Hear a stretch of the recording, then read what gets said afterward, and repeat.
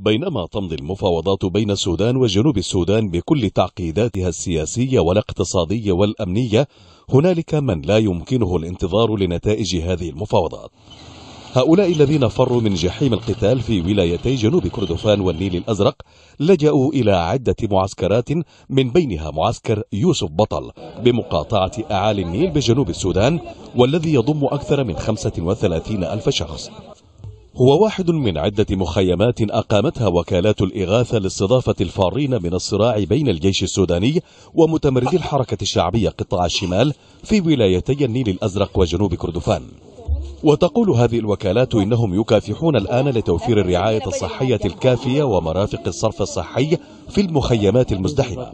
ورغم أن العاملين في مجال الصحة بالمخيم يحاولون توفير خدمات الرعاية الأساسية إلا أنهم يبدون قلقهم إزاء الحالة الصحية المتردية. لدينا معدلات عالية من الوفيات بالإضافة إلى ارتفاع معدلات سوء التغذية الحادة والمعتدلة. وهذا يعني أن طفلا واحدا يعاني من سوء التغذية الشديد من أصل سبعة وطفل واحد يعاني من سوء التغذية المعتدل من أصل أربعة.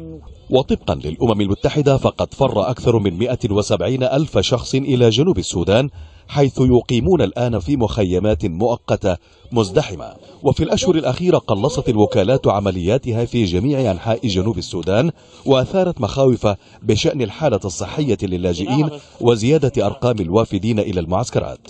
ويتم إمداد اللاجئين بالأغذية والمواد الأساسية الأخرى ولكن تقول الوكالات إنه من الصعب الوصول إلى بعض المخيمات كما أن أجزاء كثيرة من جنوب السودان لا يمكن الوصول إليها عن طريق البر وخصوصا خلال موسم الأمطار. عماد الدين همام العربية.